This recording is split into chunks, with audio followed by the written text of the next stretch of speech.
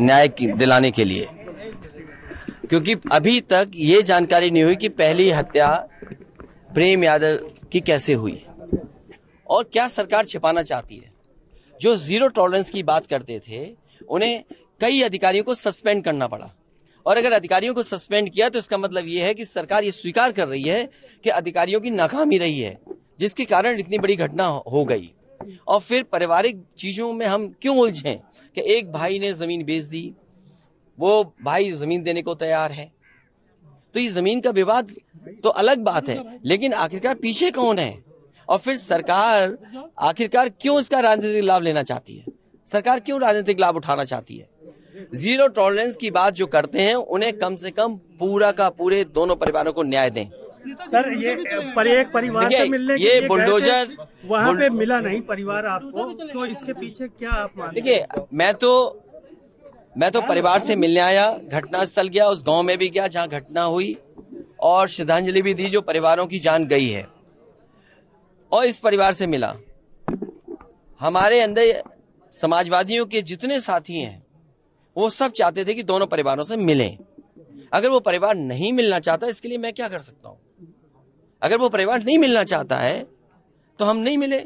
अब मुझसे ये पूछोगे कि मुख्यमंत्री हैं, डिप्टी सीएम हैं, विधायक हैं, मंत्री हैं, वो हम पे आरोप लगा रहे हैं। इस प्रेम यादव को माफिया कह रहे हैं, ज़मीन के गुंडा अपराधी कह रहे हैं, बुलडोजर की धमकी दे रहे हैं। अरे बताओ, एक भी केस उसके पास हुआ उसके ऊपर?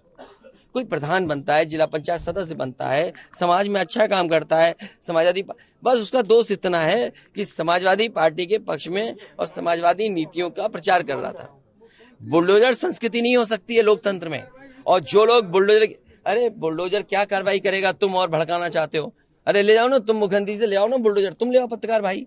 तुम्हारा मन कर रहा हो सर यहाँ भी नोटिस चिपका दिया गया। अरे नोटिस तो ये क्या अधिकारी क्या है? सरकार के सारे पे काम कर। इसीलिए मैंने कहा शासन प्रशासन के लिए और न्याय के लिए देवरिया कांड एक चुनौती है।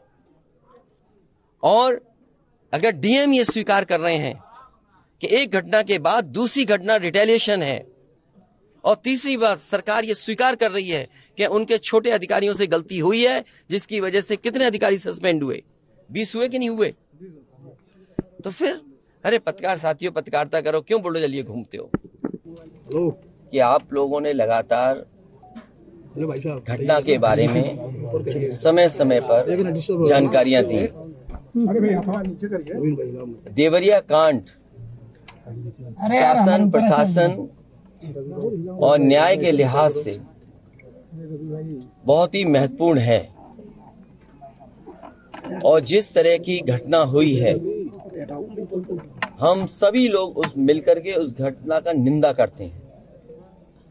ऐसी दर्दनाक घटना उत्तर प्रदेश में देखने को नहीं मिली। इधर ऐसी घटनाएँ नहीं हुई थी कि जहाँ पर इस तरह का घटनाक्रम हो कि लोगों की एक साथ इतने लोगों की जान चली जाए। जिस समय घटना हुई, उसके बाद सभी चैनल, टीवी और सबने जानकारी देना शुरू कर दिया।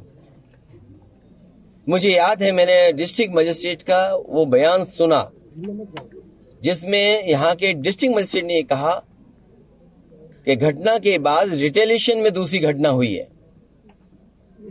तो ये विषय शासन, प्रशासन और न्याय के लिए महत्वपूर्ण इसलिए बनता है कि अभी तक सरकार जो ज़ीरो टॉलरेंस की बात करती थी,